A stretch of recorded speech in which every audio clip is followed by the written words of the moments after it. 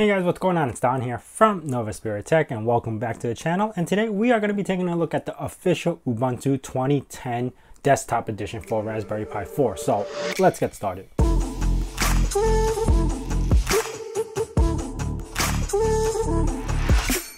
Now it's no big surprise that they're actually going to come out with the desktop version because we actually been doing this on the Ubuntu Server 2004 for quite some time now.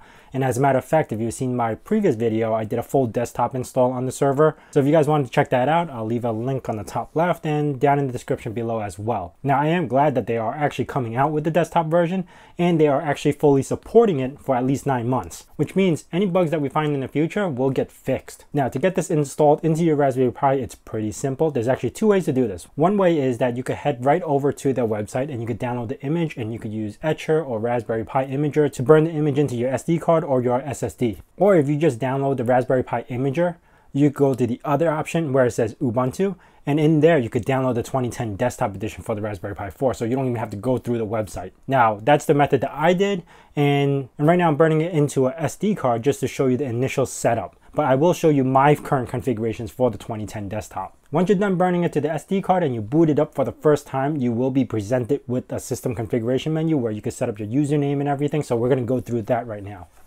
So I'm going to choose English, English again, US, US, okay. Uh, New York, that's correct. And here you can set up your username. I'm just going to call it Pi. And I'm going to call this rpiubu.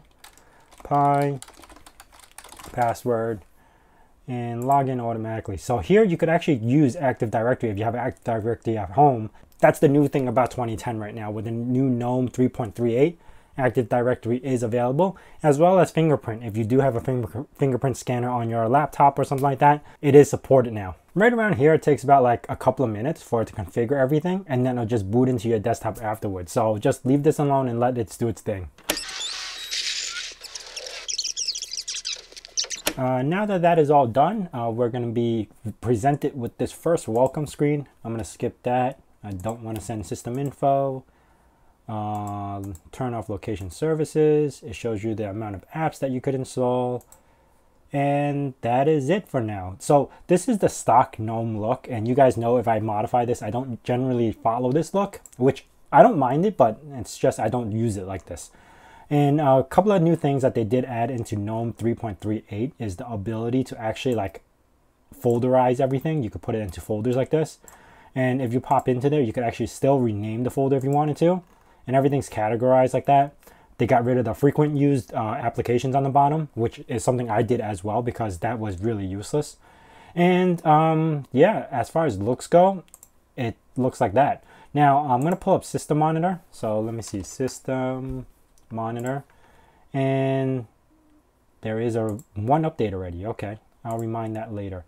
Uh, as far as resources go, on the first boot, you are shy of a little bit under a gig, which is 930, which is actually is a little bit lower because normally on a GNOME setup, I would see one or 1.2 gigs uh, first fresh boot. So that's pretty good. Another thing that you're going to start realizing is that um, biggest thing that I found, which is great for Ubuntu being on Raspberry Pi now is that we actually get vcgen command. And also, if we were to do sudo apt install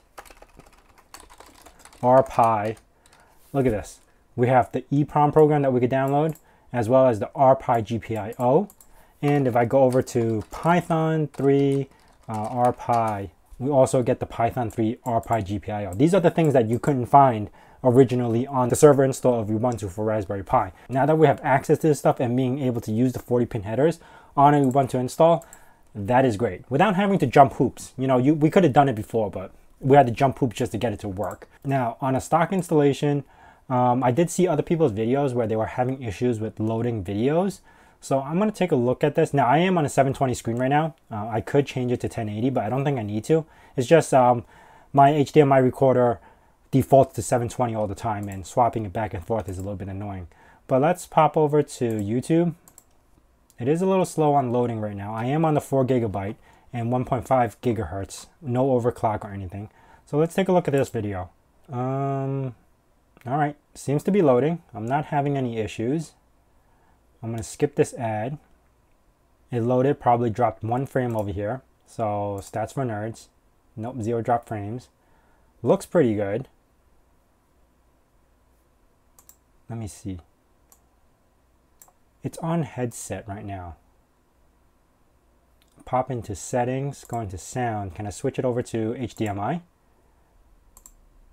To grab the there you go. libraries directly using apps. In three, yeah, okay, so I'm not dropping any frames right here. Everything looks pretty good. if I was to switch over to 720. Guys, what's the difference between this nope. and OpenGL? That seems so to be looking pretty good as well. Frame drift flips. I don't. Let me switch to 1080 and see if there that has a problem. Starting with GLX gears. So uh, GLX zero drop frames. Now this is uh, OpenGL. It looks fine. I mean, that was one of the things that I was watching other people's videos. They were saying ha they're having issues watching videos. Maybe they have an older version and it's fixed on this newer version. Um, it, I don't seem to be having that issue at all demos that we have. I'm gonna close this tab. Another thing to check is um, if you go down settings, uh, we did check just a second ago that you could choose between the two audios. Um, backgrounds, I did find something funny is that they did have an actual gorilla background. So I thought that was cool. But I do like, I like what they shipped. I like this background that they have right now, which is the gorilla one. And also this background. I could do a lot with this background. So I do like the default backgrounds that they send this time. As far as appearance goes, uh, we do have the dark theme and the light theme if we needed to. Uh, notifications, search. Oh, if you're going to use this, remember to disable all the search because when you pull up your application menus just to go through this, it's a lot of basically buffering that you need. A lot of wasted uh, CPU just to open your applications menu because it's trying to search for stuff. Um, sharing VNC is enabled so I could actually like turn this on and use it for VNC power does power work? I could see my keyboard and mouse blank the screen uh, no suspend or anything okay.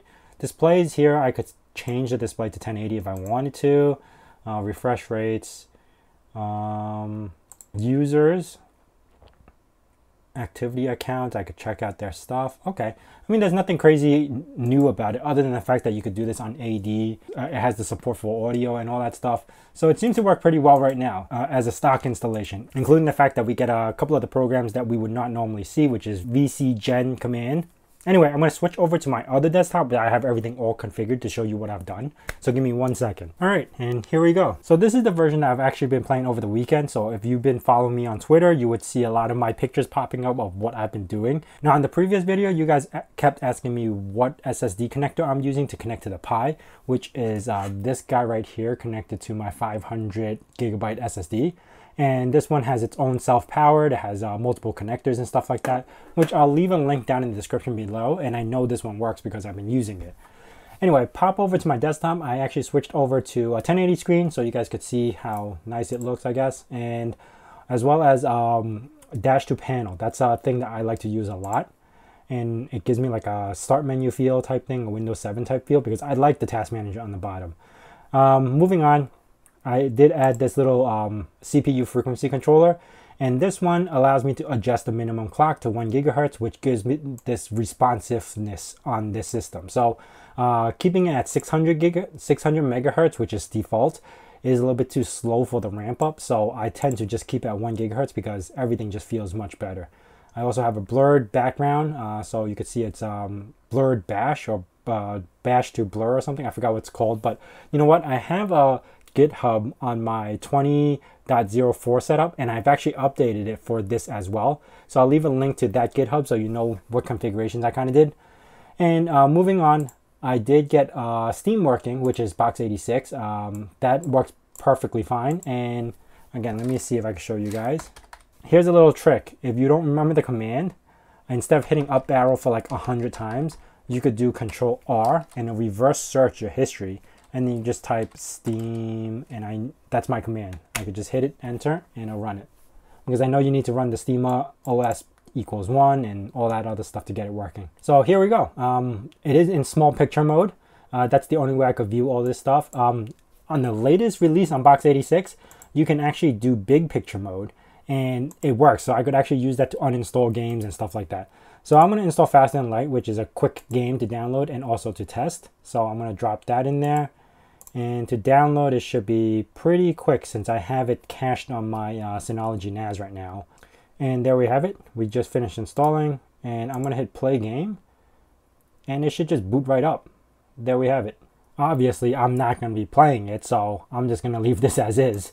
I'm to close this out. So I'm to show you guys Vulkan and I could do VK Cube over here and Vulkan is installed and is running. So I managed to get the two things I needed, which is Box 86 and Vulkan. So if I had some Vulkan games to put in here, I can. And I also dropped in uh, VS Code with all the plugins that it needs to actually run Python with GPIO. So I did do a little little test code over here. You could see RPi GPIO, and if I needed to like really code, I could code in this GPIO dot, and then it should have my autocomplete in here. You see that? Board, BCM, high, low, output, stuff like that. So yeah, um, it works really well. I'm still playing around with it and there's still a few things I want to test to throw at it to see if certain things work or certain things don't work. Well, in conclusion, will this replace my Raspberry OS? And the short answer is no. And that's because the Raspberry Pi OS is just built for using the Raspberry Pi, which gives you the better performance and also all the programs that you need to interface with the GPIOs and everything you need.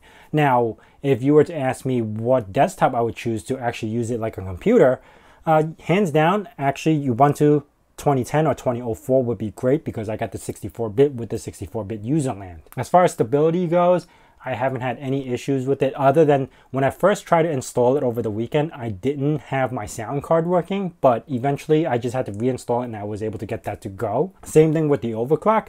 Uh, it was crashing on me when I was overclocked, but I think that might have been a bad image. That's why I was having so much issues with it initially. After reinstalling everything, I was able to get everything up and going. The sound card was working, overclocking was working.